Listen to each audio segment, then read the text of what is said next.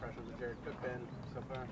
Really good, really impressed. Um, he, uh, he comes across as a real savvy uh, veteran, uh, a real pro. Um, I'd heard a lot of good things uh, about him before he got here, but uh, he's, he's certainly impressed these first couple days. Um, he's got a great feel for, for the game, and I think he's going to fit very well into our offense and what we do.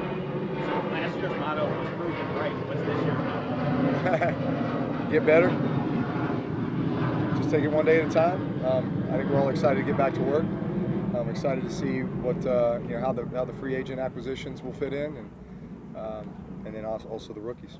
How has Cook changed things a little bit for the offense? Maybe how, how is he different than maybe what you've had the last couple of years? Um, well, you know, we're only three days into it, right?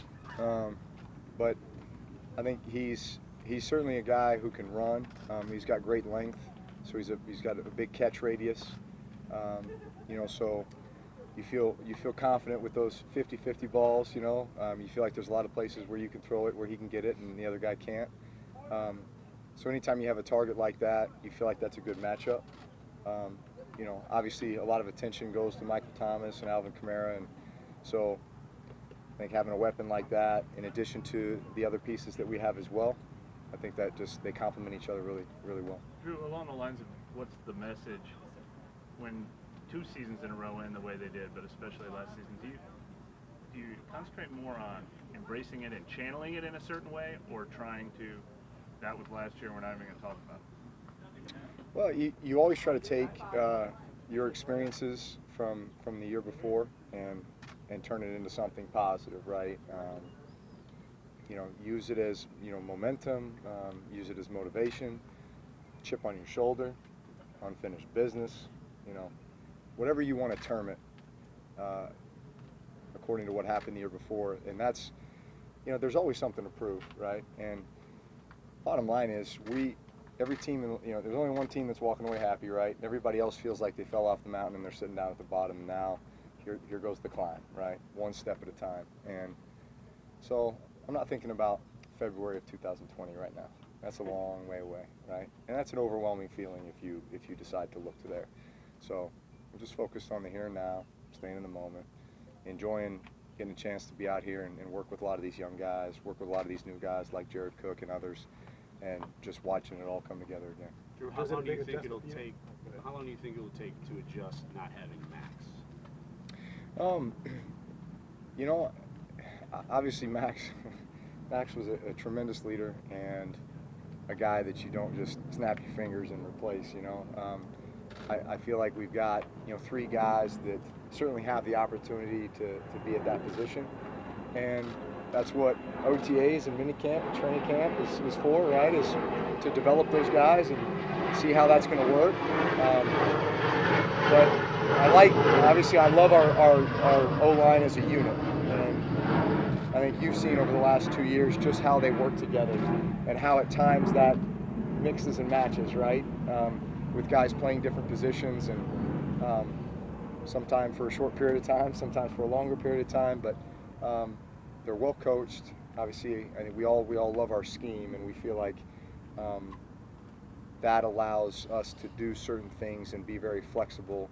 Um, that that you know puts those guys in positions to succeed, but also you know re requires them to really you know be able to work together.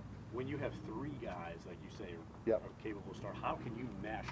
And like, is it you got to like divide your time? Like, you know, eh, you know, figure it out well, you? like here's the thing. For example, like quarterback center exchange, you know, which is the period that we start the day with, right? When we walk out here, special teams goes, and quarterback centers, we go down here, and it's just rep after rep, right, with each guy, and you're calling pass plays, you're calling run plays, you're mixing up the cadence, you're just, you know, so. And I just make my way down the line. You know, it, it could be the fourth or fifth string guy. I want to take snaps with him, right? Because my you know, my mindset is no matter who's in there, I got to be able to get the snap from them, right? I got to be able to find that rhythm with them, and we have to be able to execute. So, regardless of who it is at the end, um, we'll, you know, we'll have time on task together.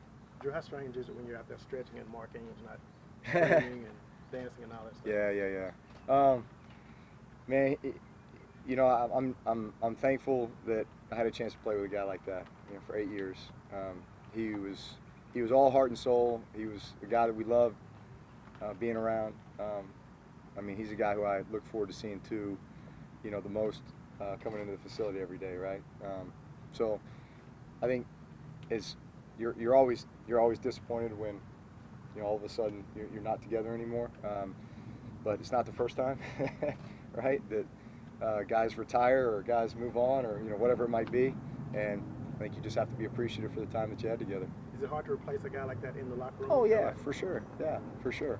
And again, there's there's all I mean there's all different personalities, and every every year is a new team, right? Um, and circumstances change for, for for guys, right? Some guys are entering into their prime. Some guys are getting a little bit older. Some guys are on their way out. Some guys are, you know, I mean, it's just so you just uh, that that that evolves, you know. And but I can say this: I Latavius Murray's been great. You know, Jared Cook's been great. These are guys that have obviously had success other places and now have come here and have a great opportunity here. Um, and so all those guys will mesh well. How do you see Latavius complementing um, Alvin? I mean, and how will he be different in any way than what Mark did uh, when he was with you? Thunder and lightning. um, you know, that's that's always. I mean, look look at look around the league. You know, every team. You know, you you, you have you have that running back room that, that typically brings different skill sets and, and you're able to mix and match. And I think our offense has proven that you know, we do a lot of things with two backs in the game. And so it just gives us a lot of flexibility, gives a lot for the defense to have to worry about and game plan for. Um, and again, we're only three days into it, but uh, I'm impressed with what I've seen with him as well. How did you go about reviewing last year's performance? Um, and is, there any interesting takeaways from that that you think will carry into this year? It was a different kind of year for you, but still record-setting and highly efficient, so so forth.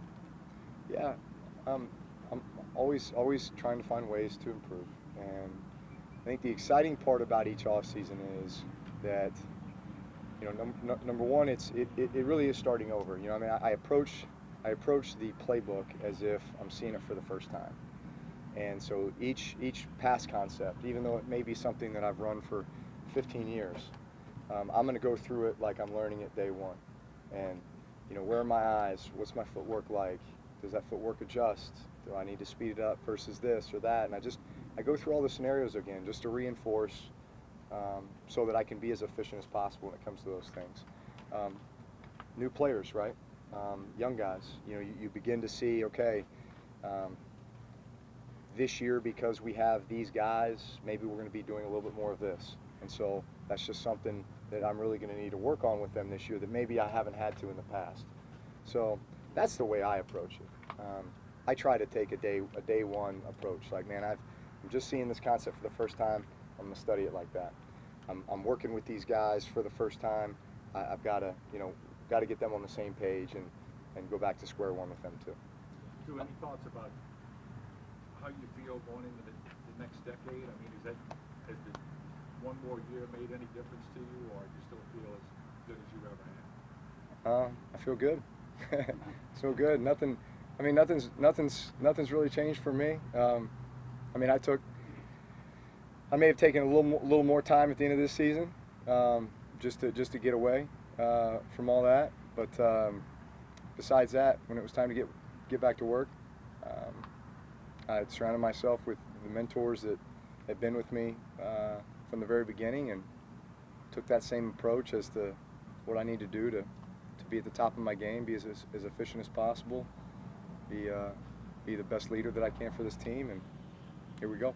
A lot of the guys are saying after the loss last year to be so dominant that the refs can't decide the game. So how do you decide have that killer instinct? I mean, obviously it's May, but how do you establish that killer instinct now?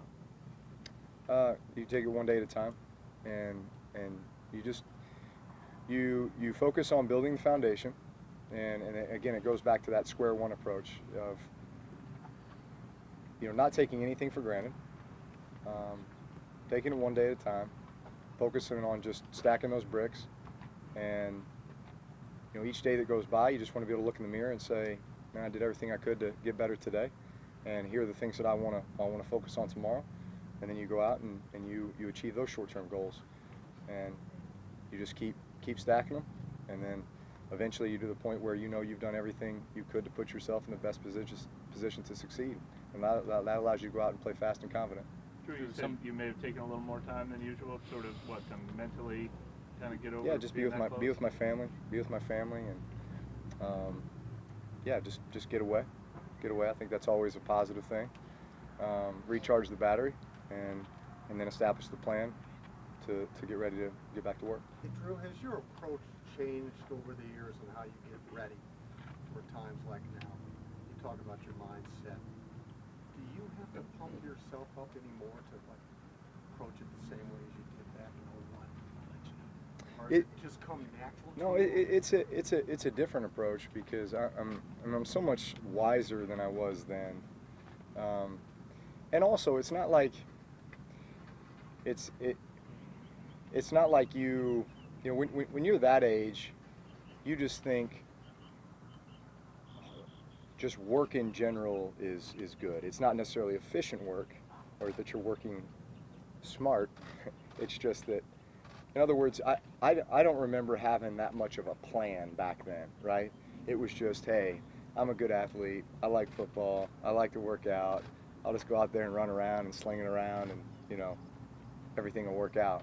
I think now the approach is, is, is so regimented um, with everything I do on a daily basis in regards to my sleep habits and my diet and the way that I train and the way I recover and, you know, how I'm caring for my shoulder and different parts of my body that, you know, require me to play the, play the quarterback position. And so it's just very specific now.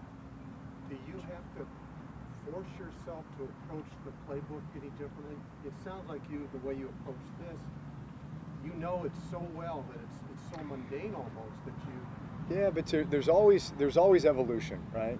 Because I think we we understand that at the end of the year, all the coaches pull out all the film, right, from every opponent, and they're sitting there analyzing it, watching it, right? So everybody's studying your stuff. Um, so you can't just come back and keep doing the same stuff over and over. Now, yeah, you have your bread and butter, and then you find ways to mix that up and and and tweak that slightly. But I like I like looking at new concepts and, and beginning to see, okay, I think this is something that we could be really good at based upon our personnel or whatever it might be. And this might be a great addition to what we're doing already offensively. This might be a great Mike Thomas route or Ted Ginn route or you know Alvin Kamara route or whatever it might be. And so that's that's that's fun too because you begin to pull all these concepts that concepts out that maybe you haven't done before. And so it's a new challenge to, to try to, um, you know, incorporate that or be, develop a comfort level enough to where that, that becomes a part of what you do. Drew, are you saying, are you saying, Drew, like, for instance, where you were lining up out wide during the season last, did you see these things being put in, in, in the off-season? So are those the things that kind of excite you, make it different, keep that boyish enthusiasm, if you will? Yeah, yeah, yeah. No, absolutely, absolutely. I mean, we, we, we always, especially for veteran guys. I mean, I, I think it's uh, it is it is something that you have to throw in there um, to keep guys, Yeah. I think, interested and intrigued, and um, you know, I, if they're going to split me out uh, as much, I'm, I'm going I'm going to need to have some routes, you know, that at least I can start working on. But no, I mean that's that's part of the fun. Yeah. I guess. Thanks. Thanks. Thanks, Drew.